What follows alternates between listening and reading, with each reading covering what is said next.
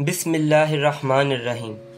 हज़रत अली रस्ते से गुजर रहे थे कि एक शख्स रोता रोता आपकी खिदमत में आया और अर्ज़ करने लगा, या अली, मेरा जिससे भी वास्ता होता है वो मुझे सवाए तकलीफ़ और धोखे के कुछ नहीं देता। मेरा कारोबार, मेरा घर, कर्ज में डूब गया है।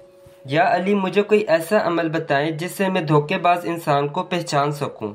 तो हज़रत अली ने फरमाया, ए शख्स अगर धोखेबाज इंसान को पहचानना चाहते हो तो जिससे भी कारोबार करो या बात करो या मुलाकात करो तो तीन मरतबा या अलीमो, या रहीमो, या रहमान, पर के उनकी आँखों में देखो। अगर वो आँखें चुराने लगे या घबराने लगे तो समझ जाना, ये इंसान तुम्हारे लिए बेहतर नहीं। लेकिन अगर मुतमिन रहे और मुस्कराने लगे तो फिर तुम उस पर भरोसा कर सकते हो।